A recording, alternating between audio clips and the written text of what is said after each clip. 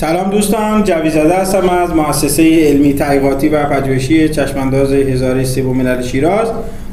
به اتفاق دوست عزیزم جناب آقای شمشیری از این ویدیو به بعد با ویدیوهای آموزشی ArcToolbox مربوط به نرم افزار ArcGIS در محیط ArcMap در خدمت شما هستیم.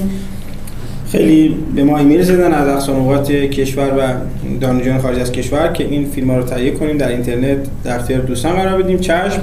ایمیل های شما باعث دلگرمی ما و این باعث میشه که ما بیشتر به جلو حرکت کنیم. خب توی محیط ArcMap قسمتی داریم به ArcToolbox در واقع به عنوان engine ArcMap یا engine GIS محسوب میشه که خود این ArcToolbox بالغ بر 750 تابع کاربردی داره که هر کدوم از این چمدونا بهش toolbox میگن که اگر این toolbox ها رو باز کنیم بهش toolset میگن و در داخل هر toolset خیلی از ابزارها تعبیه شده. یعنی در واقع توابع هست که هر کدوم از این توابع کلیک کنیم یک input داره یا output داره و یه سری تنظیمات که در واقع تنظیمات مربوط به توابع کاربردی هستن. در این ویدیو قصد داریم که از toolbox 3D Analyst شروع کنیم و یه سری دستورات کاربردی رو به شما آموزش بدیم. همونجور که می‌دونید آموزش های مربوط به تیرد آنالیست توی جی خیلی معروفه و تو کار از دوری و خیلی از پروژه ها با فایل های سبودی انجام میشه و چون روی مباحث تیردی خیلی بحثه ما سعی می‌کنیم اینو از اینجا شروع کنیم. خب بعد به نوبه خودم عرض سلام و ادب و احترام دارم خدمت تمام دوستان عزیز و انشالله که بتونیم با هم دیگه یک بحث خیلی خوب و جذاب و کاربردی رو پیش ببریم بحث conversion یا بحث تبدیلات همونطور که می‌بینیم در قسمت 3D Analyst قرار داره و به وسیله تابع conversion ما می‌تونیم فایل های مختلف با فرمت های مختلف رو به فرمت های دلخواه خودمون تبدیل کنیم و از اونها در تحلیل های خودمون استفاده کنیم. یکی از این دستوراتی که امروز توضیح میدیم اینه که چطور از یک فایل وکتوری یا فایل رستوری raster ی ما فایل تکسی استخراج کنیم که حاوی مختصات x و y و z باشه و در واقع اینو به صورت فایل جداگونه داشته باشیم که در دیگر نرم افزارها مورد استفاده قرار بدیم. بله. گزینه اول گزینه Feature Class Z to ASCII است. همونطور که می‌دونید feature class های عوارض یه سری عوارض vector ی هستن که ما در این قسمت توجه به عوارض vector ی که دارای پایه ارتفاعی Z هستند و می‌خوایم اونها رو تبدیل کنیم به یک فایل متنی. جناب شمشیر این که گفتید آیا هر فایل وکتوری خصوصیت سبودی داره؟ یا چطور اینو تولید می‌کنه هر فایل وکتوری خصوصیت سبودی نداره. ما برای تهیه این فایل های وکتوری ابتدا باید یک فایل رستری که می‌تونه دم باشه یا تین اون رو تبدیل کنیم به یک فایل وکتوری و از اون این عملیات خودمون رو انجام بدیم. من در اینجا مثال می‌زنم که این مطلب بهتر درک بشه. من یه دمو میارم به نماز اضافه می‌کنم. این دم وقتی اضافه کردم می‌دونه که دم خودش یک فایل رستریه که داده پیوسته هستم و هر جا من کلیک کنم یه اطلاعاتی از ارتفاع منطقه به دست میارم. می‌تونم وارد قسمت کانورشن بشم در تین آنالیز و بعد که وارد conversion شدم from raster ی و raster domain رو کلیک می‌کنم و بعد کلیک کردن DEM مورد نظر رو وارد اون پنجره می‌کنم یک مسیر خروجی بهش میدم و بعد در نهایت OK می‌کنم.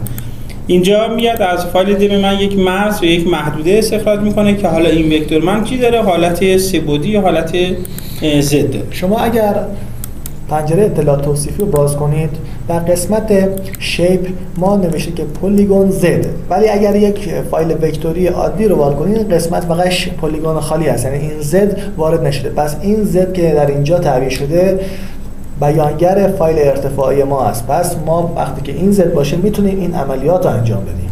برای اینکه این مثال رو بهتر درک کنید و آقای شمشیر در ادامه توضیح بدن من این polygon رو به دو قسمت تقسیم می‌کنم.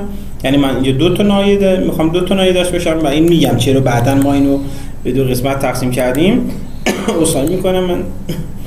میام اینو انتخاب می‌کنم با دستور cut polygon پس اگه start editing کردم اینو به دو قسمت تقسیم می‌کنم که دو ناحیه داشته باشم.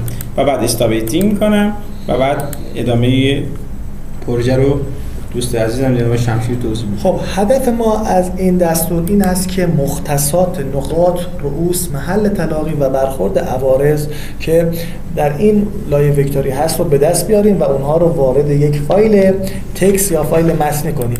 بدین منظور ابتدا از پنجره from feature class Feature Class Z to ASCII انتخاب می‌کنیم؟ پنجره اون باز میشه. در قسمت input feature class ما اون فایل vector یمون قرار میدیم output مون رو مشخص می‌کنیم. حتما توجه داشته باشید که یک folder ی رو به عنوان output قرار بدیم و در قسمت بعد فرمت فایل و نام فایل که به صورت text هست رو مشخص می‌کنید توجه داشته باشید که فرمت فایل dot text هست و نباید تغییر کنند اگر تغییر ما نمی‌تونیم اون عملیات رو انجام بشه. و در قسمت file format قسمت ما می‌تونیم از دو روش generate و x y z استفاده کنیم که دکتر توضیح میده تفاوت این دو روش رو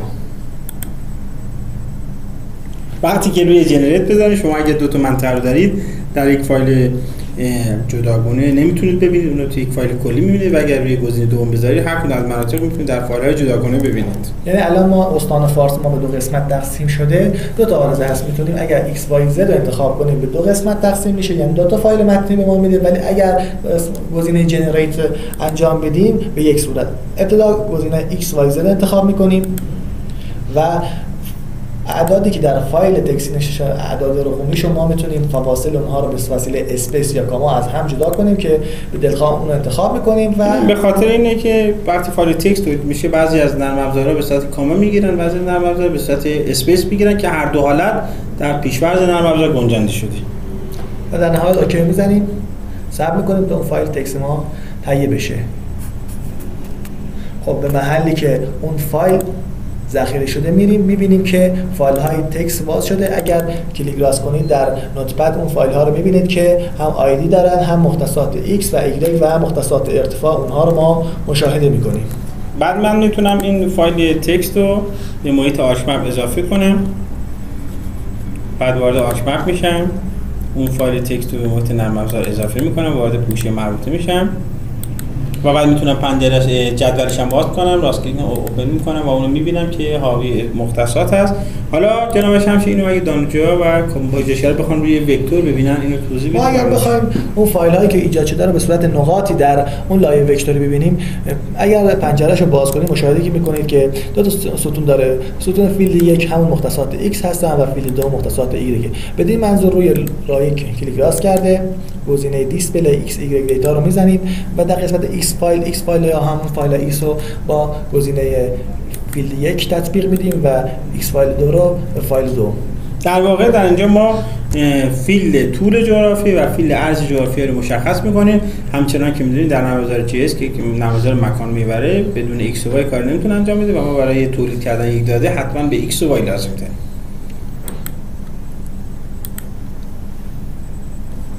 اگر روی این نقاطی که تشکیل شده. زوم کنیم می‌بینی که نقاط دقیقا در مکانهایی که محل تلاقی vertex ها هستن قرار گرفته. یعنی ما مختصات محل تلاقی رؤوس و vertex ها رو داریم که هر کدومش حاوی یک x, y و پایه ارتفاعی هستن. خیلی ممنون از اینکه به ویدیو ما گوش دادید. امیدوارم در هر جای کره زمین که هستید شاد باشید و سربلند و پیروز. منتظر ویدیوهای بعدی ما باشید. شما رو به خداوند منان میسپارم.